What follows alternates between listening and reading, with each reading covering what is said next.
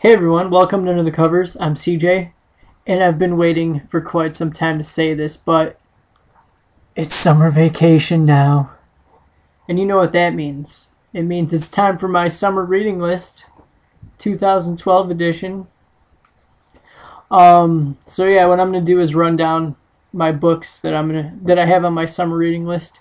I usually pick 10, and I read about seven of them, and then I read a few books that aren't on the list because they'll you know they they uh, pique my interest or whatever. So this year or this summer, I decided to add 15 books to the list, and I'm just gonna read all those 15 and not not read anything else. So without any further ado, first book on the summer reading list. Oh, this is in no particular order, by the way. First book, um, I Am Legend by Richard Matheson. Um, I'm actually going to review this book with a friend of mine. He's going to come on the show with me, and we're going to review it together. His name is Chad. He's a good man. Um, the second book is The Mysterious Benedict Society and the Perilous Journey by Trenton Lee Stewart. I read the first book last summer. Um, it was really it's really good. It's really funny. It's um it's kind of a kids like middle school like Harry Potter type book, but um you know there's there's like puzzles in it and stuff. It's really cool. It's really interesting. And this is actually the second book in the series. I believe there's four books. So i'm excited to read that one. Um, this is a twofer here. This is percy jackson and the olympians series the fourth and fifth book uh, battle of the labyrinth which is the fourth book. And then the fifth book is the last book in the series. It's called the last olympian. And I've been slowly progressing my way through this series, and I really enjoy it. Um, I'm a big fan of Greek mythology, being half Greek, less than half Greek, and uh, it's always been an interest of mine.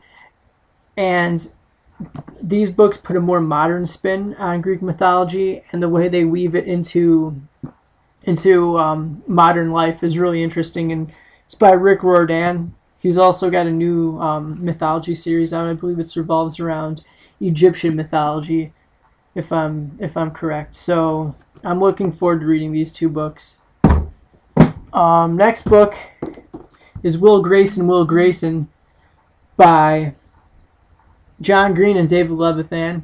And um, I'm actually reviewing one of John Green's books um, for my next review, The Fault in Our Stars.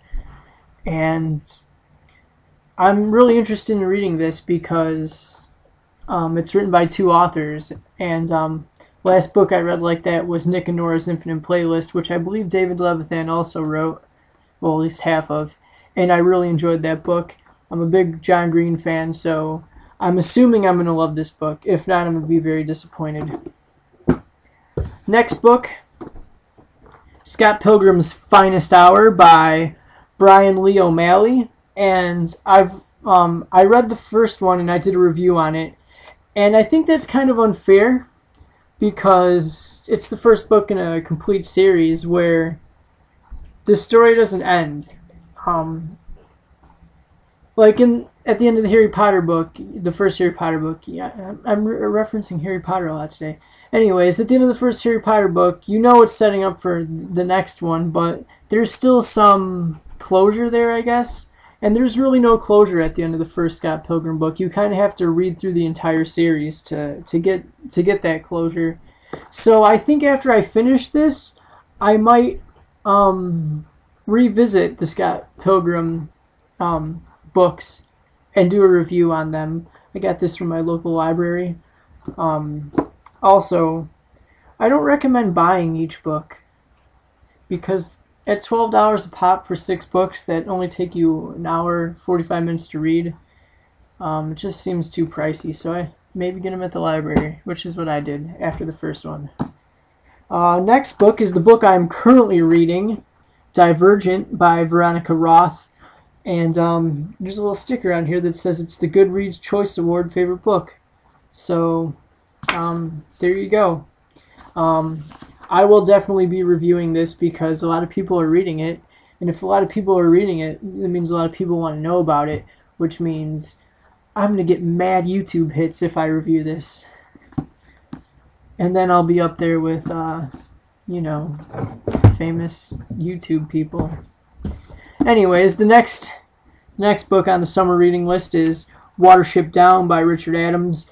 I've never read this book before. I've heard great things about it, and uh, says it's America's number one bestseller at one time.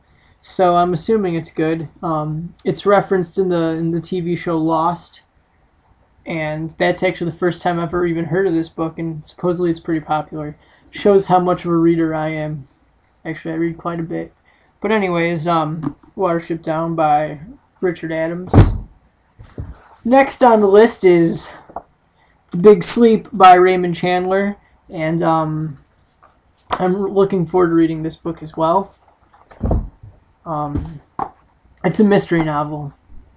Next book on the list is The Stranger by Albert Camus. Um, my friend Jason Weaver recommended this book to me when I first started my YouTube channel, and I kept saying, um, I'm going to review it next, I'm going to review it next. But then I started reading all these books for school, and then I was reviewing those books. But don't worry, Jason, I will be getting to this book this summer, and I will do a review for it. Um, so if you're still watching my channel, um, that's for you, pal. Uh, the next book on my list is The Sirens of Titan by Kurt Vonnegut. Um, I've never read this book. I believe this is his first novel. Um, yes, this is Kurt Vonnegut's first novel, and I've never read it before. I've read Breakfast Champion, Slaughterhouse Five, Cat's Cradle, um, and I've never read this book, so it's on the summer reading list. Um, next book on the list is by Charles Romalotti. It's called Pariah, and that's the cover. Uh, Charles Romalotti is the author of my favorite book of all time called Salad Days, and um, he also wrote this. I guess it's part of a serial novel, which is you know a few different smaller novels together in one big novel. I'm not too sure of the term serial novel. Maybe I just uh, said what it was. I don't know. Anyways, as I was saying, let's continue this list here. Um, next is this bulky monster, um, which will probably only take a couple hours to read. Um, Wonderstruck by Brian Selznick, not to be mistaken with the greatest song of all time, Thunderstruck by ACDC. No, not the greatest song of all time. Um, anyways, Wonderstruck by Brian Selznick. He's the author of The Invention of Hugo Cabret. Um, as you know, is made into that movie Hugo. Um, as you know, book won a lot of awards. Um, I happen to love The Invention of Hugo, Hugo Cabret. Um, it's one of my favorite books of all time. Um, I got some ink on my body as a tribute to the book, just to the amazing drawings that are in it. Anyways, um, next on the list, I don't want to, I don't want this uh, video to be too long. I'm trying to get it under 10 minutes.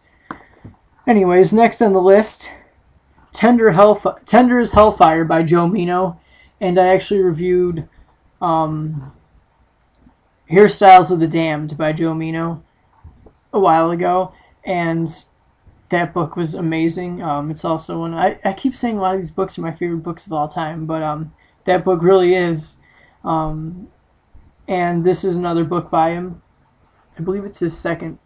Oh no, this is his first novel. So let's see where he, uh, how far he progressed as an author from hairstyles, from that to hairstyles. And the last book on my list is I Am Number Four by Pittacus Lore. Lore? I don't know how to say the last name. Um, it, it's it was made into a movie, so I'm gonna read the book and then I'm gonna watch the movie. And if the book sucks, I'm not gonna watch the movie. But if the book is good, I'll watch the movie, and then the movie will suck. It's a uh, it's a vicious cycle if you think about it.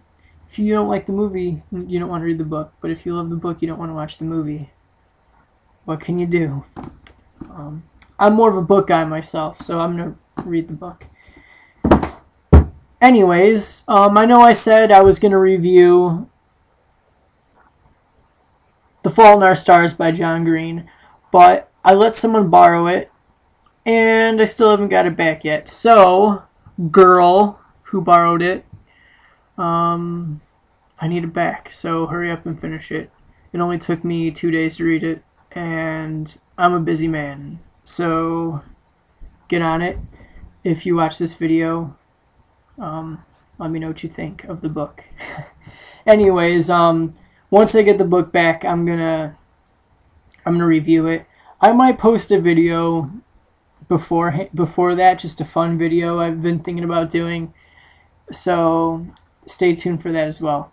Anyways, those were my 15 books. I believe it was four. No, it was 15 books, and um, those that's my summer reading list. If you've read the, any of those 15, let me know what you think in comments. Um, also, recommend me some books too, because I have a feeling I'm going to get through quite a bit of these pretty quick, considering some of them are quick reads. Anyways, thanks for tuning in. If you if you like the video, hit the like button, leave some comments, subscribe at the top if you're not already. Um, thanks for tuning in. Later.